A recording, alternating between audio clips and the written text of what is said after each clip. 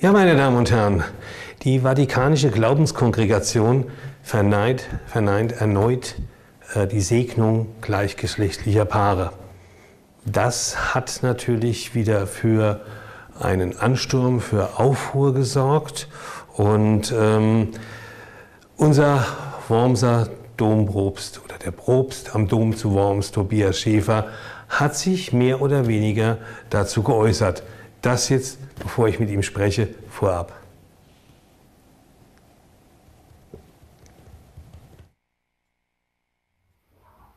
Die Kirche habe nicht die Vollmacht, Verbindungen von Personen gleichen Geschlechts zu segnen. Es sei nicht erlaubt, Beziehungen oder selbst stabilen Partnerschaften einen Segen zu erteilen, die eine sexuelle Praxis außerhalb der Ehe einschließen, wie dies bei Verbindungen von Personen gleichen Geschlechts der Fall ist. So sagte es die Glaubenskongregation in einer Stellungnahme vom heutigen Tag. Ich glaub's ja nicht. Und das im wahrsten Sinne des Wortes. Diese Stellungnahme aus Rom macht mich wirklich fassungslos. Wenn die Kirche keine Vollmacht mehr hat zu segnen, wer immer sich nach dem Segen Gottes sehnt, hat sie da nicht ihre ureigenste Aufgabe aufgegeben. Segen ist doch kein Instrument für moralisches Urteil, sondern die Zusage, dass Gott da ist, dass er mit uns geht, in guten und in schweren Stunden. Was für eine Hybris zu glauben, wir müssten Gott vor sündigen Situationen schützen. Wir müssten den Segen Gottes schützen, damit er nur ja nicht die Falschen erreicht.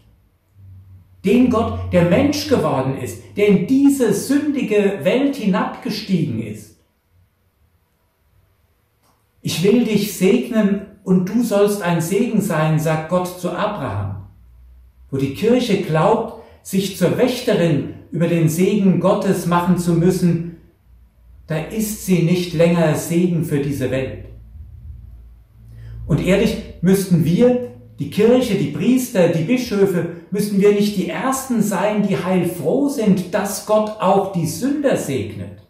Gerade in dieser Zeit, in der die sündigen Seiten der Kirche so offenbar geworden sind. Und damit kein Missverständnis ist, ich glaube nicht, dass Schwule, Lesben, Transgender und so fort, dass das alles sündige Menschen sind. Das sind Menschen, die von Gott geliebt sind, so wie jeder liebende Mensch auch und die unter dem Segen Gottes stehen. Ich habe als Priester meinem Bischof und damit der Kirche oder besser gesagt Christus selbst einst Ehrfurcht und Gehorsam geschworen. Und dazu stehe ich mit voller Überzeugung. Und doch gibt es gerade um diesen Gehorsamswillen auch einen Punkt, wo ich sagen muss, den Segen Gottes zu spenden, wer immer ihn braucht, erbittet, ersehnt, das kann und werde ich mir von niemandem verbieten lassen. Hier stehe ich, ich kann nicht anders. Ja, Herr Schäfer, ich darf Sie hier willkommen heißen in unserem Studio und freue mich sehr, dass Sie zu uns gekommen sind. Ja, ich sage jetzt einfach mal, manche werden denken, Palastrevolution. Ähm, was wollen Sie mit Ihrem Statement vor allen Dingen vorrangig bewirken? Also wer mich kennt, der weiß, dass ich alles andere als ein Revoluzer in der Kirche bin, aber ähm, mich hat an diesem Tag, als diese Veröffentlichung kam, mich hat das wirklich so, so wütend gemacht, so entsetzt und äh, fassungslos, ähm, dass ich einfach das Gefühl hatte, ich muss da jetzt reagieren und ich muss auch meinerseits Stellung beziehen. Also es war schon auch ein Stück eine, eine spontane Aktion gewesen, eine spontane Entscheidung gewesen und jetzt nicht ähm, reflektiert im Sinne von, was will ich jetzt in der Kirche damit ähm, auslösen, bewegen, in, in Gang bringen, sondern mir war es wichtig, meinen Standpunkt an dieser Stelle deutlich zu machen. Ja, aber der Standpunkt der Kirche, der war ja nicht neu. Das ist ja schon länger Fakt oder schon immer Fakt, dass die Vatikanische Glaubenskongregation sagt, nein, äh, bei der Segnung für homosexuelle Paare. Ja, natürlich ähm, kann das eigentlich die Haltung von Rom jetzt niemanden völlig überraschen. Aber dass das jetzt zu diesem Zeitpunkt kommt, zu einem Zeitpunkt, wo wir gerade auch hier in der deutschen Kirche, aber auch an anderen Stellen ähm, am Ringen sind nach, nach Wegen, wie sich Kirche auch verändern muss, um in dieser Zeit, in dieser Welt Menschen, die von dieser Zeit auch geprägt sind, ähm, die frohe Botschaft nahezubringen. Wir haben hier den synodalen Weg, wir, wir ringen wirklich an verschiedenen Stellen. Dann ist gleichzeitig der Missbrauchsskandal, wo scharenweise die Leute aus der Kirche austreten. Wenn wir nur das Erzbistum äh, Köln sehen. Äh, ja, da, da gibt es keine Termine mehr für, für ja. Kirchenaustritte. Und dann wird hier die nächste Baustelle aufgemacht und wir treiben die, die Letzten, die, die noch treu zu uns stehen, ähm, aus der Kirche raus. Und es ist für mich ja ohnehin schon fast ähm, ein, ein Wunder, dass es noch homosexuell geprägte Menschen gibt, die zur Kirche stehen und die sagen, ich trete nicht aus, mir ist das wichtig. Ähm, und denen sagen wir jetzt auf diese Weise so deutlich, also wir können eigentlich mit euch nichts Rechtes anfangen. Mhm. Ähm, also das hat mich wirklich in dieser Situation auch so, so aufgebracht und so fassungslos gemacht. Ähm, ja, und ich denke gleichzeitig eben auch an unsere Gemeindemitglieder selber, also die, die mittlerweile sich rechtfertigen müssen, dass sie überhaupt noch in diesem Verein sind. ähm, mein Bruder hat mich angerufen, der Lehrer ist an einem Gymnasium, der sagt, was soll ich denn meinen Schülern und meinen Schülerinnen erzählen? Da sind auch welche dabei, die schwul sind, die lesbisch ähm, empfinden. Ähm, was soll ich denen erzählen? Wie soll ich denen denn noch glaubwürdig vermitteln, dass es sich lohnt, in der Kirche zu sein. Der Vatikan begründet das doch allerdings damit, dass ähm, äh, die Ehe ein Sakrament ist. Die Ehe zwischen Mann und Frau. Und die Partnerschaft unter Homosexuellen, also Mann, Mann oder Frau, Frau, entspricht nicht der Ehe dem kirchlichen Sinne nach, also nicht dem Sakrament. Sakramente sind ja ganz oben angesiedelt was ist, wenn wir jetzt dieses eine Sakrament mal so ein bisschen ankratzen, fallen lassen mit den anderen Sakramenten? Darum geht es mir ja auch gar nicht. Also ähm, die Ehe, so wie wir als Kirche Ehe verstehen, ist ähm, eine Lebensgemeinschaft zwischen Mann und Frau, ähm, und zwar eine exklusive und ähm, unauflösliche Lebensgemeinschaft. Aber wir müssen doch wahrnehmen, dass es in unserer Lebenswirklichkeit auch alle möglichen anderen Formen ähm, von Partnerschaften, von ähm, Leben miteinander gibt. Ähm, und die sind doch nicht alle per se Sünde. Also, und, und das anzuerkennen und dazu sagen, da muss es auch Formen geben, denen zuzusagen, ja, Gott geht auch euren Weg mit euch. Und nichts anderes bedeutet ja Segen. Ähm, also da müssen wir, glaube ich, als Kirche ran. Ja, also nicht mehr an den alten Prinzipien festzuhalten, die vielleicht auch äh, durch die Bibel begründet sind, sondern einen neuen Weg gehen, der sagt, okay, es ist halt mal vor 500 Jahren äh, diese Glaubenskongregation ins Leben gerufen worden, dann war sie mal ausgesetzt, dann ist sie wieder da, aber sie darf nicht das alltägliche Leben der Kirche vor Ort bestimmen. Ja, es, unsere, ähm, unser Verständnis von Wirklichkeit verändert sich ja. Ähm, vor 100 Jahren noch hat, hätte jeder, nicht nur in der Kirche, jeder gesagt, Homosexualität ist eine Perversion, ist irgendwas Krankhaftes. Also das Bild, dass das irgendwie zu heilen ist, weil es halt eine Krankheit ist und wie jede andere Krankheit auch, muss man da dran gehen und muss die irgendwie heilen und umpolen. Das, das ist ja noch nicht so lange vorbei. Das ging ja bis aber, ins 20. Jahrhundert hinein. Anfang. Eben. Und, aber heute wissen wir, das ist eine, eine Prägung, die einfach vorgegeben ist. Das ist äh, keine, keine Krankheit und es ist, es ist eine Spielart des Lebens. Und äh, das sagt uns alle Wissenschaft heute völlig klar. Und das muss ich doch auch als Kirche dann irgendwann mal anerkennen und muss sagen, also ähm, wenn der liebe Gott das so eingerichtet hat, dass es Menschen gibt, die so empfinden und so fühlen und so sind, ähm, dann kann ich doch nicht sagen, da hat der liebe Gott einen Fehler gemacht. Nur der Vatikan sieht das scheinbar nicht so. Ja, noch nicht, hoffe ich. Noch also. nicht. Äh, Sie sind ja nicht der Einzige, der dieser Aussage widerspricht. Ähm, wurden Sie schon kontaktiert von Kollegen äh, oder gar äh, vom Bischof? Peter Kohlgraf, dass da irgendwie was schon im Gespräch war? Oder wie, wie, wie haben Sie die Statements? Es waren ja unheimlich viele Kommentare mhm. auf Ihre Veröffentlichungen in, in, Facebook. Da haben ja auch viele Kollegen gesprochen. Ja. Also ich ähm, war, wie stehen die dazu? Ich habe hab ja schon gesagt, ich habe das nicht vorher reflektiert und, und überlegt, ähm, was das alles auslöst und, und so und war selber dann schon ein bisschen überrascht und überfahren, wie schnell und wie weit verbreitet das geht, dass da also innerhalb von von zwei Tagen jetzt äh, über 600 Kommentare äh, passiert sind. Also das hat mich schon ein bisschen überrascht und das sind und sehr, sehr viele, die positiv sind, die das unterstützen, ja. die das genauso sehen. Und natürlich habe ich auch eine ganze Reihe Rückmeldungen bekommen ähm, von Mitbrüdern, von Kollegen. Ähm, und wusste ja auch schon, also das weiß ja jeder, dass das an vielen Stellen längst Praxis ist, dass wenn ich als Priester angesprochen worden bin ähm, von einem schwulen Paar, ähm, die um einen Segen gebeten haben, dann habe ich denen das ja nicht verweigert und so haben das viele andere ja auch gemacht. Mhm. Also insofern hat mich nicht überrascht, dass es viele gibt, die das genauso sehen.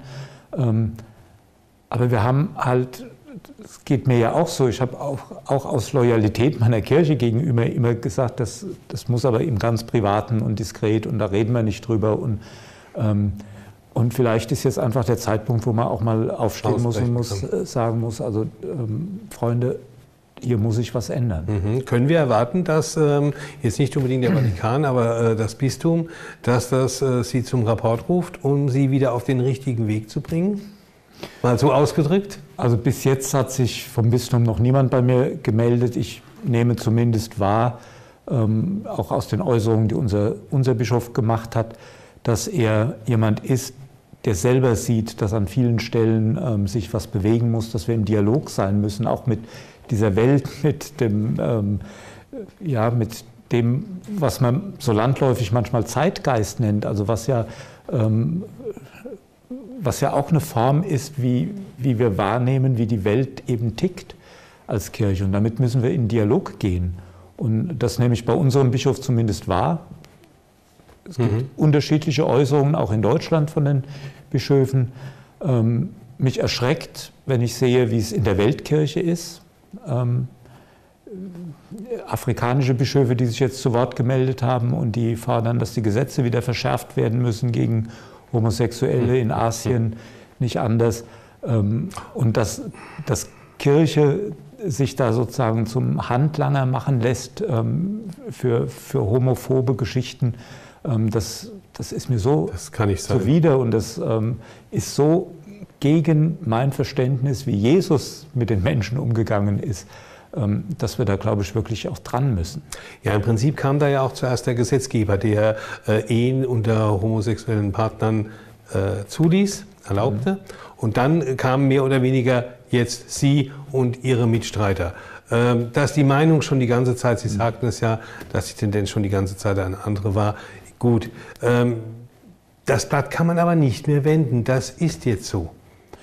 Ja, also, aber nochmal, mir geht es gar nicht darum, dass ich sage, wir müssen jetzt auch als Kirche ähm, Eheschließungen für Homosexuelle ermöglichen. Wir müssen eine eigene Form finden für diese ähm, Lebenspartnerschaften, die da entstehen. Für liebende Partnerschaften muss es eine Form von Segen geben. Ja. Und wir müssen aus dieser Denke rauskommen, die ja auch aus diesem vatikanischen Dokument spricht, dass alles an Sexualität, was nicht innerhalb einer Ehe sich abspielt, automatisch Sünde ist, ähm, wo Menschen verbindlich in Liebe füreinander da sind, das kann in meinen Augen nicht Sünde sein. Mhm. Ist außerdem absolut veraltet, das ist ganz klar.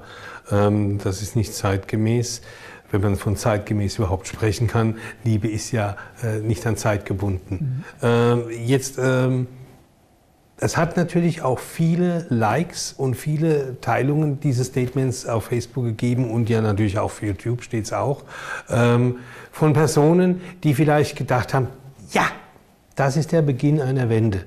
Der katholischen Kirche. Jetzt, so fängt's an.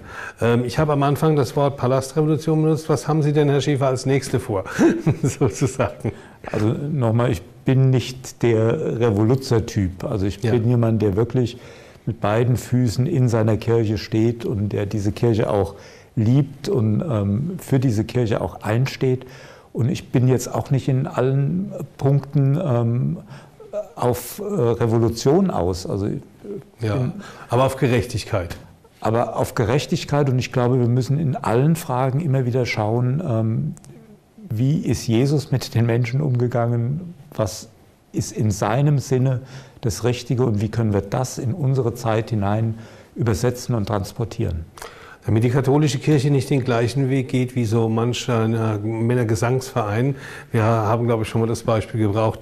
Die Austritte äh, sind horrend momentan. Man macht sich richtig Sorgen. Ähm, unser Weihbischof hat bei der ähm, Segnung auf dem Bobenheim-Ruxheimer Weiher, hat mir mal eine, äh, eine Predigt gehalten, die mich sehr berührt hat. Er hat gesagt, ähm, wir sind nicht mehr so viele und wir werden immer weniger. Und wir werden sehr, sehr wenige sein irgendwann mal und gar nicht so weit hin. Aber äh, die Eucharistie und die Evangelien, die sollten wir beibehalten. Ähm, weshalb ich das jetzt sage, wir sprachen davon, die Mitgliederzahlen der katholischen Kirche gehen zurück. Wir sprachen auch schon in einem anderen Interview darüber, wie man das stoppen kann. Da ist natürlich sicherlich nicht hervorragend das, ich sage jetzt nur das Erzbistum Mainz, äh, Köln, Entschuldigung, ich bin nur so auf Mainz zentriert. Erzbistum, Erzbistum Köln, Zungenbrecher mhm. ist es keiner. Ähm, was da jetzt an äh, Gutachten an den Tag gekommen ist, das ist ja auch nicht so äh, förderlich für die katholische Kirche. Also natürlich ist diese ganze Missbrauchsthematik nicht nur nicht förderlich für die katholische Kirche, sondern das ist ein, ein, Skandal sondergleichen. Und das, da braucht man auch nicht drum rumzureden. Also das, das hätte ich mir auch selber in diesem Ausmaß nie vorstellen können. Dass es auch in unseren Reihen ja. ähm, Verbrecher gibt, das ist, ähm, also es sind auch alle nur Menschen. Ja. Natürlich gibt es die auch in unseren Reihen. Aber, das ist aber das Menschen, die nach einer Moral zu leben haben. Ja, aber dass es das in diesem Ausmaß deswegen innerhalb von Kirche gegeben hat und gibt, das hätte ich mir nie ausmalen können. Ähm, und das ist erschütternd, das ist überhaupt keine Frage. Ähm, auf der anderen Seite muss, muss man auch bei diesem Kölner Beispiel auch gucken, dass man, ähm, dass man Gerechtigkeit walten lässt, auch gegenüber dem Erzbischof und den, den Verantwortlichen. Also da gab es in den letzten Wochen und Monaten einen unglaublichen Druck, weil der Eindruck entstanden ist, da wird irgendwas vertuscht. Ähm, jetzt liegt das neue Gutachten vor, benennt die, die wirklich auch Verantwortung tragen, dass manches unsauber gelaufen ist im Umgang mit Tätern, im Umgang auch mit den Opfern, dass sie nicht gehört worden sind. Ähm, aber es sagt eben auch, der Erzbischof selber hat sich an dieser Stelle offensichtlich nichts zu Schulden kommen lassen, jedenfalls nach Aktenlage nicht. Mhm. Ähm, das muss man dann auch ehrlicherweise wahrnehmen. Also er hat viel Prügel jetzt eingesteckt. Ähm, das ist jetzt unabhängigerseits so festgestellt worden. Auch das muss man ehrlicherweise dann, dann wahrnehmen und darf nicht jetzt ähm, äh, einfach, um da irgendeine Genugtuung oder Rache zu üben, ähm, Jetzt alle in einen Topf alle drauf. Müssen da jetzt Köpfe rollen, egal welcher. Also da muss man mhm. schon dann auch differenziert hinschauen. Mhm. Jetzt mal mehr oder weniger eine persönliche Frage, Herr Schäfer. Sie sind äh, Priester geworden äh, aus einer inneren Überzeugung heraus, weil Sie Gott lieben. Dazu zählt natürlich noch ein großer Teil Idealismus dazu. Man verzichtet ja auch auf einiges. Ähm, Schwindet der Idealismus, schwindet Ihr Glaube, wird Ihr Glaube geringer durch solche Vorkommnisse, dass Sie sich sagen, Gott ist allmächtig, aber trotzdem lässt er so etwas zu. Wie kann das sein? Nein, aber das gehört ja eigentlich zum, zum Kern unseres christlichen Glaubens, dass wir an einen Gott glauben, der nicht einfach ähm, sozusagen sagt, ich radiere jetzt die Menschheit aus, weil die, ähm, mit der ist sowieso nichts mehr anzufangen und mache was Neues, sondern dass er uns zutraut, mit unserer Freiheit es selber in den Griff zu kriegen. Dass er uns immer wieder ermutigt, dass er uns dafür auch seinen Segen und seine Kraft gibt, ähm, aber dass er uns, dass er nicht selber eingreift und uns damit ja die Freiheit auch nehmen würde. Er traut uns das zu. Und das, die Kehrseite der Medaille ist natürlich, dass wir auch ertragen müssen, dass immer wieder vieles schief geht in dieser Welt. Ja, also die einzige Aussprache, warum macht Gott nicht, die kann nicht immer als Joker herbeigezogen werden. Man muss sich selbst sagen, was kann ich tun? Ja, also das ist eigentlich das, wie ich auch meinen Glauben verstehe, dass Gott uns ähm, vorgelebt hat in Jesus Christus, wie es gehen kann und immer wieder ermutigt, uns auf diesen Weg zu begeben. Ähm, das gelingt auch mir, mal besser, mal weniger gut, aber wir müssen da permanent drum ringen. Herr Schäfer, trotzdem sehen wir das als äh, schöne Worte zum Abschluss unseres Gespräches. Ich darf mich nochmals recht herzlich bei Ihnen bedanken, dass Sie so kurzfristig Zeit gefunden haben, zu uns ins Studio zu kommen und drücken Ihnen für Ihre Arbeit und alles einfach nur die Daumen. Wir schaffen das. Vielen Dank, Dankeschön. Gerne.